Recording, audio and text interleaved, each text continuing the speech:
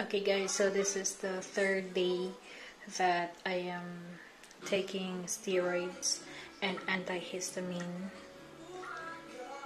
to remove the allergens out of my body or out, out of my face.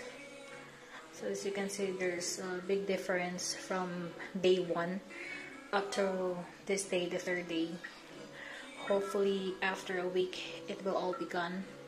Um, after three days taking the steroids, uh, medicine, the oral steroids, um, I will still continue taking the antihistamine, uh, 5 milligrams in the morning and 10 milligrams in the evening until this is all gone. So I was advised to continuously take the antihistamine for 7 days. So I'm gonna do that and hopefully everything will go back to normal.